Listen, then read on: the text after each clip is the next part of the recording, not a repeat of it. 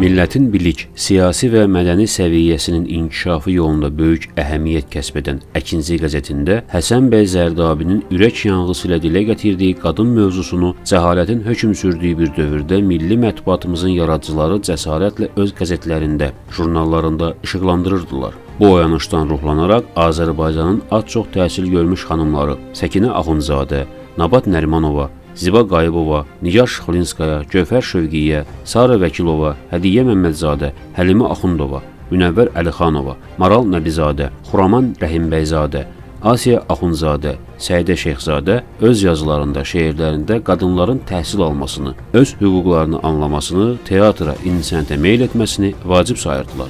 Münəvvər xanım Əlixanova İşıq Qadın jurnalında yazırdı.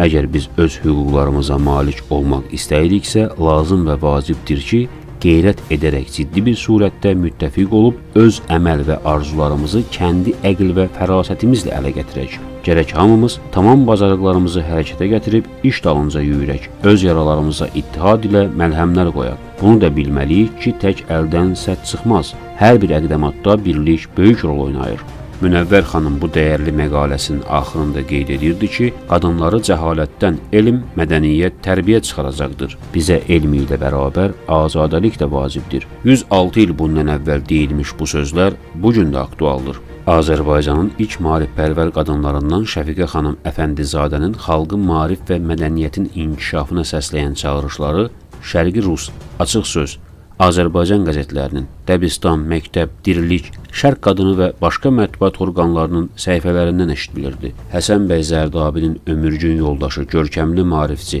Hənifə xanım Məlikova Şəfiqə xanımın Şərq aləmində əks-səda salan publisistik fəaliyyətinə yüksək qiymət verərək deyirdi: "Qadın təhsili məsələsində sən Həsən bəydən daha çox iş görə biləcəksən." 1918-ci ilin sentyabrın 15-də Bakının erməni və bolşevik hərbi birləşmələrindən azad edilən tarix tarixi gündə demokratik ruhlu mətbuatımızın ailəsində şərəfli yer tutan milli azadlıq və müstəqil dövlətimizin ilk mübariz orqanı Azərbaycan qəzeti qadınlarımızın həyatına, azadlıq, tərəqqi yollarına mayaq kimi işıq saçmağa başladı. Azərbaycan qəzeti Şəfiqə xanım Əfəndizadənin əqidəsi, arzusu, publisistik fəaliyyəti üçün geniş meydan oldu. Qadınların həyatı, mübarizəsi, hüquqları, təhsili, maariflənməsi haqqında bir sıra dəyərli məqalələr, hekayələr yazdı. Azərbaycan Xalq Cümhuriyyəti İstiqlal bəyannaməsini elan edərək millət, din, sinif, cins ayrılığı gözləmədən öz ərazisində yaşayan bütün vətəndaşlara hüquq bərabərliyi, azadlıq, dinc həyat bəxş edirdi.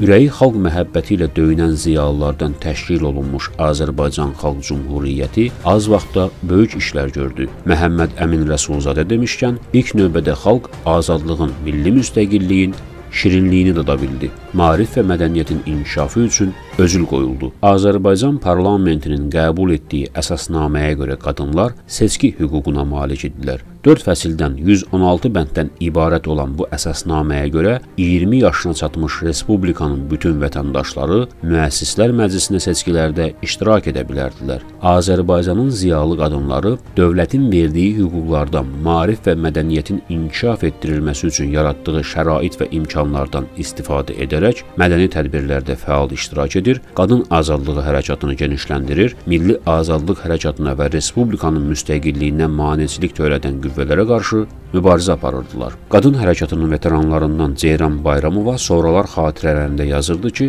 Azərbaycan parlamentində ilk dəfə müsəlman qadını ictimai-siyasi işlərdə iştirak etməyə başlamışdı. Bu dövrdə maarifpərvər qadınlar milli məktəblərin yaradılmasında fəal çalışırdılar. Cümhuriyyətin qurucularından olan Nəsibbəy Usubbayevin xanımı Eynül Həyat ilk Milli Qız Gimnaziyasında dərs deyir, Maarif Nazirliyinin inspektoru işləyirdi. Sankt-Peterburqda ali təhsil almış ilk müsəlman qızı Səlimə xanım Yaqubova Bakıda 1-ci Ünas Türk Gimnaziyasının müdiri təyin edilmişdi. Onun evi əsl ziyalı ocağına çevrilmişdi. Görkəmli maarif xadimi Mədinə xanım Qiyasbəyli 1918-ci ildə Qazaq qəzası xalq məktəblərinin inspektoru təyin olunmuşdu. O, bir il sonra Bakıda öz mənzilində pedaqoji kurs açmış, Azərbaycanın ilk maarifpərvər qadınları Şəfiqə xanım Əfəndizadəni, Xədicə xanım Ağayevanı bu nəcib işə cəlb etmişdi. Müftü Əfəndi Qayıbovun qızı Gövhər xanımın Bakıda öz mənzilində təşkil etdiyi 80 nəfərlik pedaqoji kursda o dövrün tanınmış pedaqoqlar dəstəyirdilər. Gəncədə ziyalı qadınlar xeyriyyə cəmiyyəti yaratmış, şəhərin mədəni həyatında fəal iştirak etmişlər. Bu işdə Xədicə xanım Ağayeva, Cəvahir xanım Rəfibəyli, Həcər xanım Şeyxsamanlı, Bilqeyis xanım Qaziyeva böyük səy göstərir, qızların təhsilinə kömək edir, qadınlar üçün teatr tamaşaları keçirir, daşnaqların törətdikləri qırğınlar nəticəsində kimsəsiz yetim qalmış, qaçqın düşmüş uşaqları öz himayələrinə alırdılar. Qadın müəllimlərə olan ehtiyacı qismən ödəmək üçün əvvəllər rus qız gimnaziyalarını, Tiflis Nücabə Qızlar İnstitutunu, hətta Hacı Zeynalabdin Tağıyevin qız məktəbini və 2 illik pedaqoji kursları bitirmiş qızlar ibtidai məktəblərdə dərs deməyə cəlb olunmuşdular.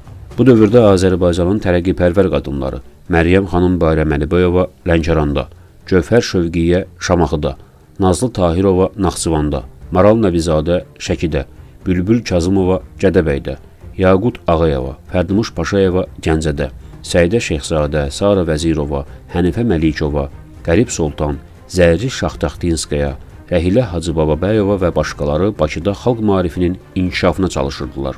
İllər bir-birindən çətin gəlsə də, həyat eşqi, yaşamaq, qurub yaratmaq amalı qadınlarımızı daim yüksəlməyə ruhlandırmışdı. Cümhuriyyətin yarandığı gündən bəri tariximizi göz önünə gətirəndə ürəyimiz qürur hissi ilə dolur.